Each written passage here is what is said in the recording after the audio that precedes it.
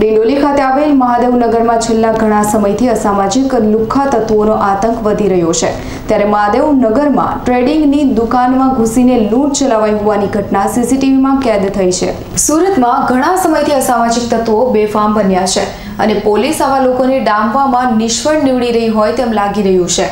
ત્યારે હાલમાં ડિંડોલી પોલીસ મથક વિસ્તારના વીડિયો સામે આવ્યા છે, જેમાં ડિંડોલી ડી સ્ટાફની ઓફિસથી માત્ર એકસો મીટરના અંતરે આવેલી મહાદેવનગરમાં ટ્રેડિંગ દુકાનમાં લુખ્ખા તત્વોએ આતંક મચાવ્યો હતો અને લુખ્ખા તત્વો દ્વારા ચલાવાયેલી લૂંટની ઘટના સીસીટીવીમાં કેદ થઈ છે, જેને લઈ પોલીસ પેટ્રોલિંગ પર અનેક સવાલો ઊભા થઈ રહ્યા છે.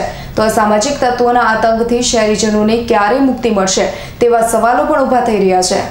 Bureau report, S nine news Surat.